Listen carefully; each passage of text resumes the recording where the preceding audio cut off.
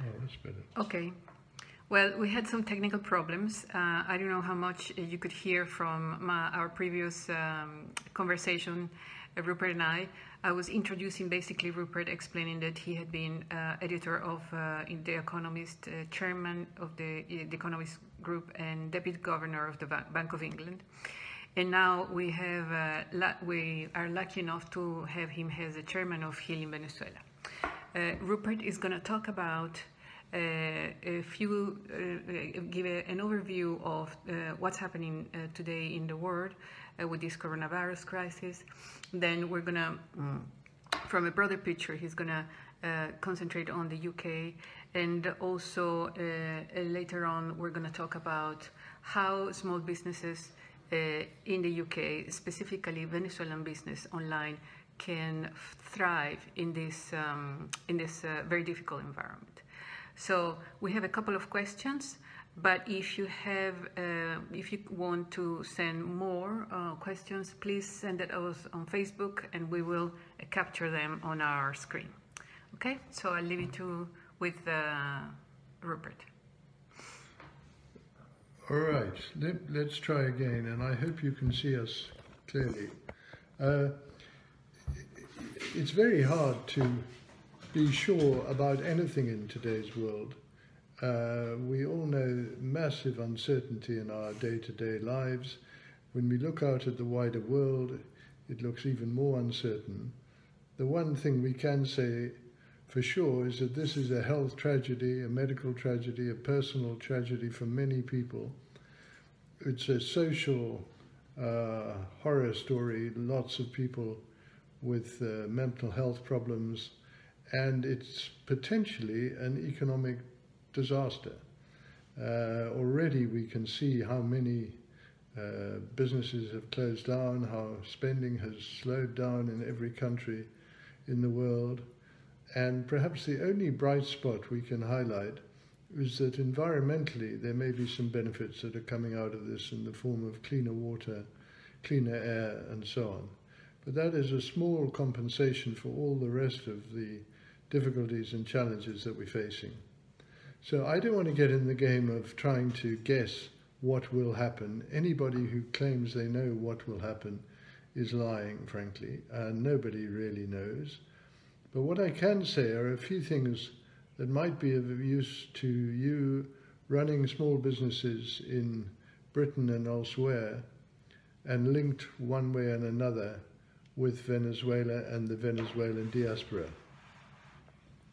And I should say at this point, as I say every time, I do apologize that I can't talk Spanish uh, and uh, communicate in your language, but I do add that I admire hugely all the Venezuelans who live in Britain who I've met and the many more who I haven't. Uh, your spirit and your cheerfulness and your determination are, for me, a, a remarkable uh, example of uh, uh, human triumph of human of human uh, humanity. So, thank you for being so cheerful. Thank you for being so positive. Let me try and be a little positive as well. The first thing you do if you're running a business today is see what options there are that have been made available by government action. And the governments around the world, but let's stick with Britain, uh, have taken completely unprecedented measures to try and cope with this uh, pandemic. So the more you understand about the different schemes that are available, uh, the more you might discover that you are eligible for one of them. Typically, a small business, a sole trader type operation, the only thing you might be able to qualify for is a uh, uh, some sort of scheme for the self-employed, and there is a fairly elaborate scheme which, as it happens, has gone live today, actually paying out money uh, and there are also some very uh, small loans for small businesses that might be of interest. The problem with loans, as we can all appreciate, is that you take on a loan, you have to repay it eventually. But the terms on which you'd be taking it out are very favorable. So it's not it's worth having a look at those. And you'll get all that information on the government website. There are pages and pages of information, and working your way through all of them would take a long time. But I think you can assume that only the things for the self-employed or small business loans are the categories you ought to spend time studying to see whether they covered your particular circumstances. Then you think of how you should be running a business in these sorts of conditions. And the first thing to recognize is that however difficult you are finding it, almost all your customers and suppliers will be finding it equally difficult. And the one thing everybody is trying to do is ensure that they get paid. The one thing they want to do is hold on to cash as uh, long as they possibly can. And those two uh, emotions, uh, two principles, run absolutely counter, counter one to the other. Uh, if you uh, owe money to someone, you want to delay payment as long as you can because you may not have the cash to pay it, but anyway, you want to hold on to your cash. And if you are owed money by somebody, you want to collect it as quickly as possible. So there's an enormous tension between creditors and debtors at a time like this. And all you can do as a, a company who is uh, wanting to be paid properly is to insist on the best terms you can right at the beginning. If possible, operate a cash business where somebody can't buy something from you unless they've either paid by bank transfer or by credit card uh, straight up so that you know you've got the cash before you deliver whatever it may be, a food a supply or uh, crafts or whatever. Uh, so whatever you can do to conserve your cash, please do. That's the most important thing of all. The second thing you can do is look to see what kind of uh, delays you can uh, qualify for in making payments to the government or to the landlord who you've got a property rented from or something like that. There are various schemes of deferment. VAT, for example, if you go on the VAT website, you may well find that in certain circumstances you can delay uh, paying your VAT for a period without penalty. So there are things like that which you should explore and take maximum advantage of. Then you go and think, well, how can I not just survive and conserve cash, but how can I actually take something uh, out of this crisis and turn it into an opportunity? And that obviously means getting your message out, getting your products, your services out to as wide a range of people as possible uh, to people who may already be your customers, trying to encourage them to buy more, but uh, mostly to uh, people who are potentially new customers. You will know that uh, the Buy Venezuelan initiative, which the charity has launched, the Healing Venezuela charity has launched, is uh, an opportunity for small vendors in uh, the Venezuelan diaspora to market their products and services. And uh, through that umbrella organization Buy Venezuelan, uh, they are doing some extra marketing, uh, digital marketing on various uh, social media channels like Facebook to uh, encourage as many people as possible to know about the existence of all of you but also to start uh, buying more from from you.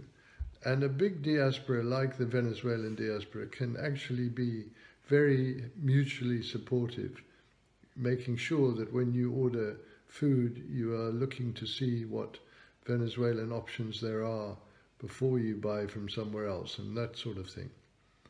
So there are various measures that you can take to promote yourself to customers um, and some of it is word of mouth, but a lot of it, of course, is going to be encouraging your friends, your contacts, and your existing customers to share the information about you with as wide a group as possible. And I think a serious push to market what you're doing uh, is time well spent.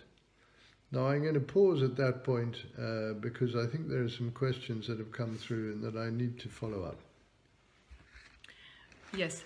Uh, so before um, moving to questions, uh, uh, if you want again, if you want to make to ask questions, please add it on the comment section of the Facebook Live.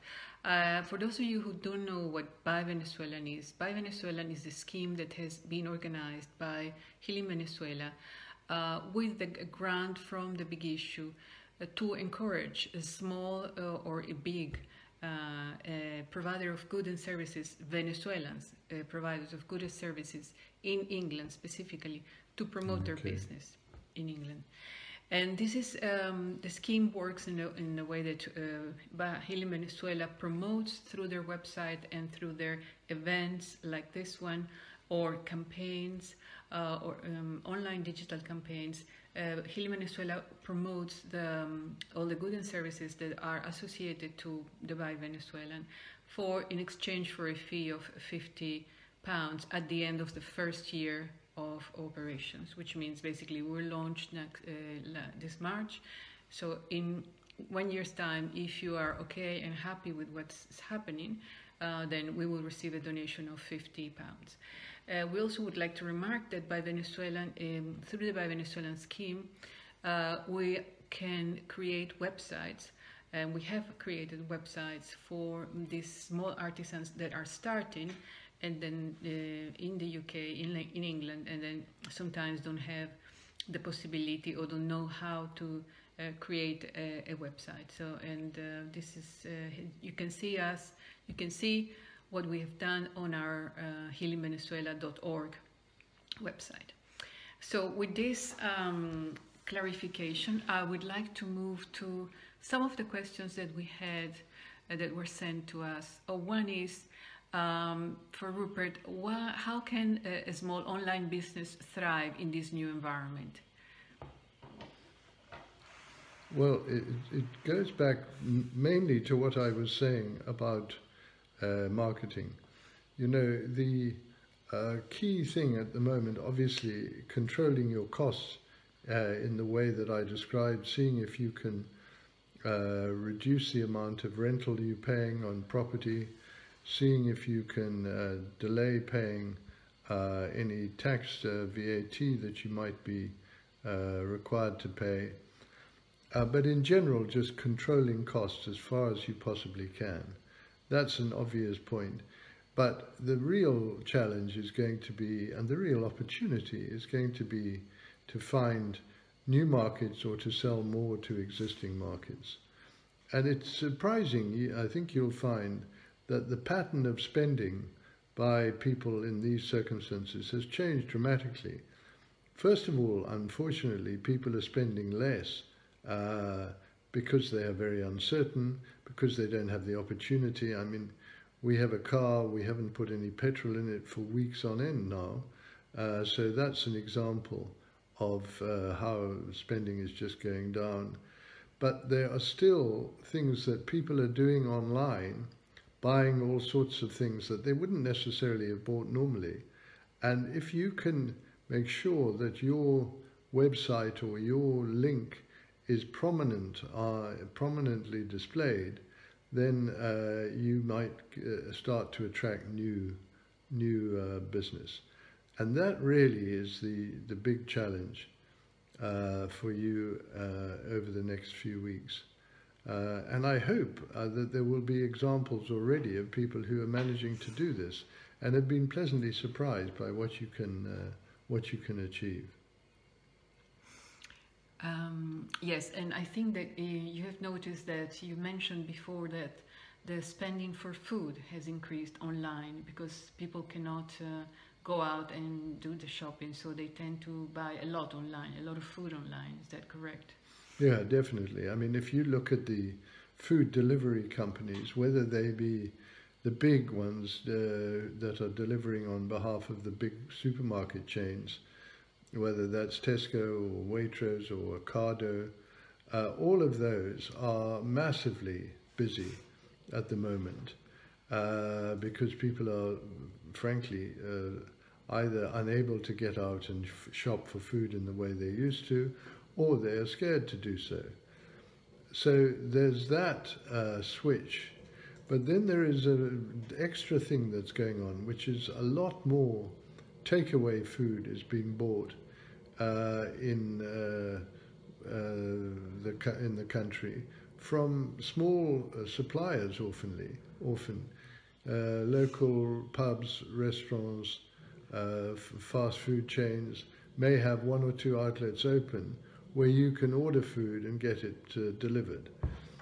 The delivery companies like Deliveroo and a whole lot more are very busy as well, but you can get food.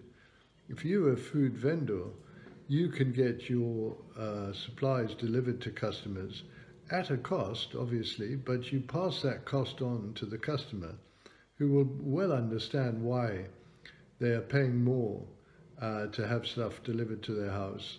And I don't think they will resent that at all. Okay. So uh, another question is, what should be the main focus of a small online retailer? There are so many hiccups at the moment. Some suppliers are closed, mindset of customers are different, etc. Yeah, and you know the, the suppliers being closed is a real factor. Uh, I mean, I'd like to think that all your suppliers, if they were going to close or even curtail their operations, would tell you their customers before they were going to do that and would explain why and would give you some indication of when they might reopen in a normal way. But even if they do that, it doesn't stop the fact that your supply chain has been interrupted. And it's sometimes very difficult for you to carry on doing what you've been doing unless you've got the inputs from your suppliers. So again, if you've got uh, that happening to you, it's a matter of going out and looking for alternatives. Again, you know, we thank uh, goodness every day, a hundred times a day, for the internet. Imagine what this would be like if we didn't have the kind of uh, internet access and the internet availability that we now have which is making all these sort of queer issues so much easier to resolve than they once would have been. There is a question about taxes.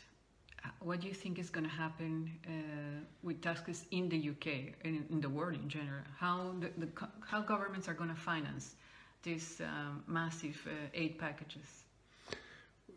What's uh, happening now is every government everywhere in uh, is going into huge deficit during this period. They recognize that these are extraordinary circumstances requiring extraordinary responses.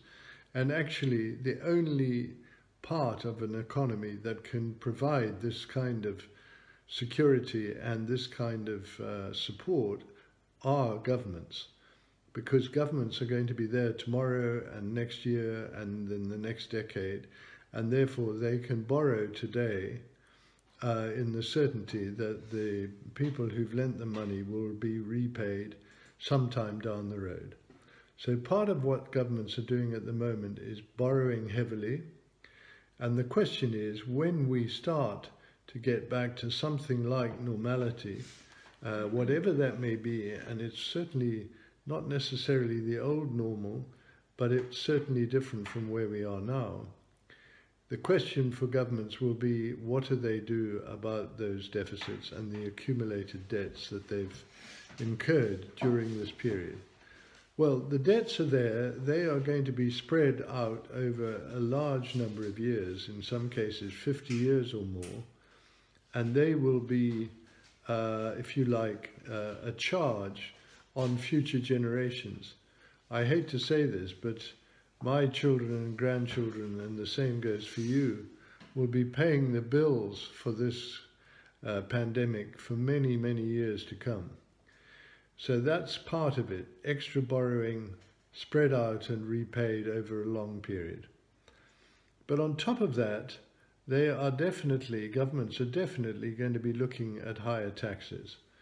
And the question they're going to be asking themselves is how much do we charge in higher taxes and when do we start to introduce that into our, um, into our budgets?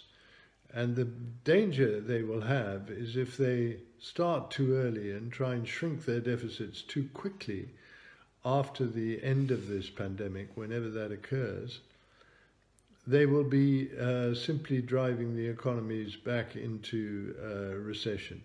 So they will be very careful, I hope, very careful in judging when they will start to take measures to either cut public expenditure or to uh, increase taxes. But they will be wanting to increase taxes, they will be wanting to cut expenditure. And I think you've got to recognize that quite a lot of uh, programs that are at the moment uh, very cherished by those who benefit from them are going to uh, be reduced or in one way or another changed. I draw attention particularly in this country uh, to the programs that benefit pensioners. I have to say pensioners like me, uh, who are uh, hugely uh, favored by the tax system and by certain types of public expending, public sp uh, spending. Uh, what's happening now with this lockdown is really in many ways for the benefit of the older older people, 60 plus, 65 plus, it depends when you think you're getting old. But uh, it's at the expense of the old uh, it's for the benefit of the old at the expense of the young. And I do think that this is going to be something that governments are going to try and correct in their subsequent uh, behavior. So I do think some of the uh, things that are particularly beneficial to the old, for example, uh, winter fuel allowances, things like that, free bus passes, these will either be abolished or they will be taxed as a benefit in a way that they're not at the moment. They will also have to keep spending a lot of money on the health service, so I think other categories of spending are going to come under very intense pressure. So one way and another, a combination of higher interest charges on much, much higher debt for many years to come, and some tax increases and some spending cuts are going to be the way. But we need to be honest with ourselves. This is going to take a long time, and the cost of this pandemic is going to be with us in one way or another for many years to come. This is not a short, nasty experience. This is something with long lasting consequences and scars that will be there for many, many years, decades to come. Thank you, Rupert. Um, in your experience uh, in the 21st century, well, certainly not in the 21st century, but at least in the 20th century, can you um, uh, can you remember? Can you compare what's happening now worldwide with some uh, specific events? I mean, is this comparable to the Spanish flu, to the Depression, to the Second or First World War, to the 2008 crisis? How would you compare? what's happening now with events in the past and how we could learn from those lessons? Well, even I am not old enough to remember the Spanish flu, but that was in 1918. Uh, but I mean, clearly that was far, far worse in terms of the lives lost 25 million, 30 million, 50 million. You've seen estimates that range even higher than that for that. And that was partly because medically people didn't know what was going on. The scientists were not as clued up as they are today. So we are very lucky that we have been able to avoid the worst health consequences that could have occurred with this virus if we hadn't had lockdown and quick uh, responses from many governments. But uh, in terms of the economic effect, of course, we don't know how long this is going to last, and therefore we don't know just how serious the economic effect will be. But this is certainly up there with the Great Depression, which is the period from 1929 uh, through to 1939. 1940, which was a period of very high unemployment in Western economies and throughout the world, of very slow growth, lots of protectionism, trade barriers being put up, which of course made the problems much worse. That was a period of shocking economic damage. And it was actually resolved only because of the war. Now, the war arose for a whole lot of reasons, some of them economic, but mainly not. But uh, they were, uh, the, the economic consequences of the war was that the economies were put into full employment and high activity very quickly because of mobilization of troops, but also of uh, factories building armaments and so on. So it came to an end because of a lot of spending.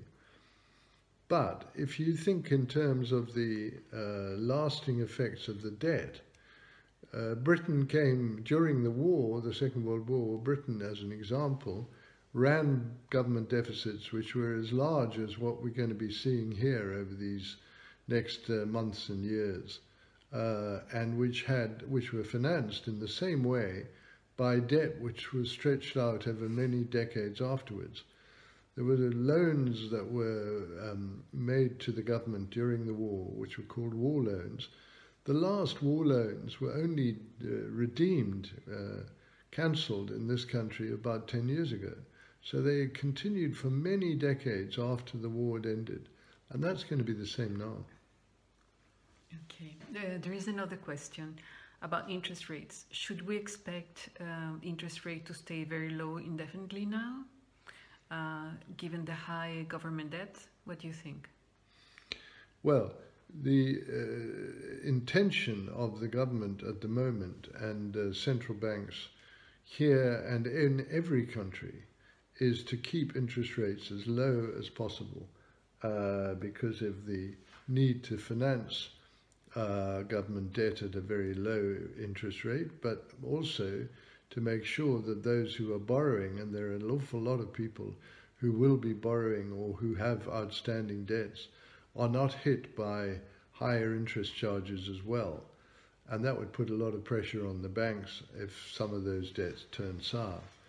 So there's a huge impetus at the moment to keep interest rates low. But it's worth remembering that interest rates can be kept low only at the short end, if you like, the short term interest rates. Money borrowed for three months, six months, whatever. If you are borrowing for much longer, those long term interest rates are affected by a lot of things, including government and central bank action, but not only. So, if actually there is a rise in the oil price, way from where we are now, which is very low, to something like uh, double or triple where we are today. If other commodity prices were to start to rise, food prices, for example, were to start to rise, and therefore inflationary expectations began to creep in again, the long term interest rates would start to rise anyway, irrespective of what the governments were trying to do. The moment there's no sign of that, and uh, frankly, I don't expect it, but when you ask, will they remain low indefinitely? I can't say that, no. But they will, uh, in my view, re remain low for quite some time. Uh, thank you. Now, there is another question. Uh, do you advise to invest in, to invest in properties this year? Would it help the local economy? Well, I hate to give you investment advice, but let me just talk a little bit about what property might or might not do there's no doubt we've got a completely uh, clogged up housing market at the moment. Uh, so in terms of residential property, we've got a lot of unwinding to do of people who want to sell, people who want to buy, and quite a lot of transactions which had been agreed but then had to be put on hold for these last two months. They are now, as of this week, gradually being eased up and uh, people are allowed to go and visit houses again and look at houses and there's no doubt there will be more activity in the housing market. Will this be at a higher or a lower price than before? In my view, it's almost certainly going to be at a lower price. A property that was worth uh, X today will be worth less. Uh, a property that was worth X three months ago will be worth less than next today, and probably worth even less than that in uh, a month or two's time. That's as far as residential property is concerned and in the short term. If you take almost every other type of property, you get very mixed picture.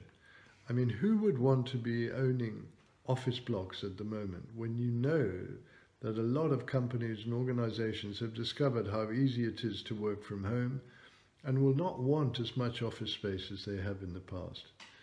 On the other hand, there are going to be uh, a lot of uh, organizations that are going to need storage areas, maybe because they're doing much more online shopping, uh, and therefore they've got to be places where companies hold stocks, do their packaging, do their dispatch from there. So warehouses, I think, will be a very strong feature of the property market. But office blocks, shops, I don't see them being very strong, no. Okay, uh, there is another question. Would the government postpone uh, and or reconsider Brexit as a consequence of this huge debt that they are incurring with the pandemic? Well, so far, the government has been quite clear that it's not going to reconsider or postpone the deadline that it has imposed on itself. The deadline to leave uh, the uh, transition period at the end of this year. Brexit has happened in a legal sense. It happened at the end of last year. But there was a 12 month period after that, which was called the transition, which was intended to be the period when the government would negotiate a trade agreement with the EU. This uh, 12 months, of course, has been completely uh, preoccupied with the pandemic so far. And you could say that the chances of uh, reaching some sort of comprehensive trade agreement have been massively reduced, in fact, probably eliminated. One option the government can uh, exercise itself is to say, okay, we will postpone that end of the year deadline and to some date into the future, beyond the end of this year. If they're going to do that and request that, they've got to do it by the end of June. And so far, every time they've been asked this question, government ministers have said, no, we're not, we're sticking to this same deadline. So we've only got another uh, six weeks to go before we discover whether this is a bluff or whether it's what they really mean. I have no way of knowing. Uh, personally, if you ask my personal opinion, I devoutly hope they will be wise enough to postpone this uh, end of this transition until well into the future. Because negotiating a comprehensive trade agreement, which is what we need, will take a long time. Um, there is another question. Um, do you think this crisis is going to have an impact on the geopolitics? It's going to change the geo geopolitics in, in, the world compared, compared to what uh, we had before? Hmm. I uh, am sure it's happening before our eyes. Uh, one of the things that's happening, uh, to my great sadness, and I'm sure to uh, that's a view shared by quite a lot of you, is that the United States, which should be acting as the leader on a whole range of fronts in terms of health initiatives, in terms of trade initiatives, in terms of financial support, uh, and uh, ensuring the world's financial system is secure. The United States just isn't there. It has a president who is not in any way engaged, doesn't probably even understand what I've just said. Uh, so I think the retreat of the United States from world leadership is visible day by day and growing. Uh, the question is, in this vacuum, what uh, fills, uh, what takes the place of the United States, or at least shares the position?